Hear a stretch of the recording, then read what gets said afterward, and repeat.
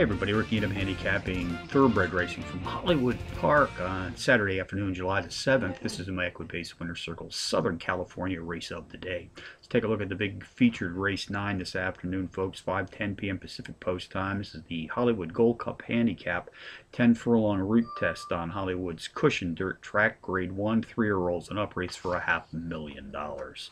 Contenders number six, Game On Dude. Number two, Richard's Kid.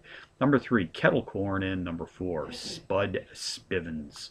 Number six, Game On Dude, the only entry in this field not taking a step up in class this afternoon, is the speed and pace profile leader. Has been a power run performer in five straight, hitting the board in four, winning three times in this recent streak of racing consistency.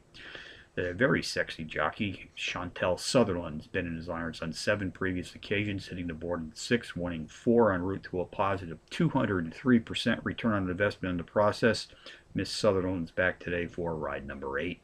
Number two, Richard's Kid has also turned in power runs in five straight, including a power run win his last time out.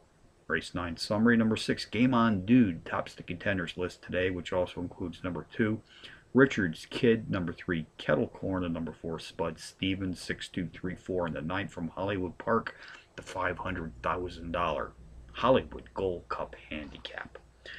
Bonus long shots, Prairie Meadows, race seven, entry number five. It's not you, it's me. Four to one in the morning line. Qualifies as a power pony, takes a four level class drop.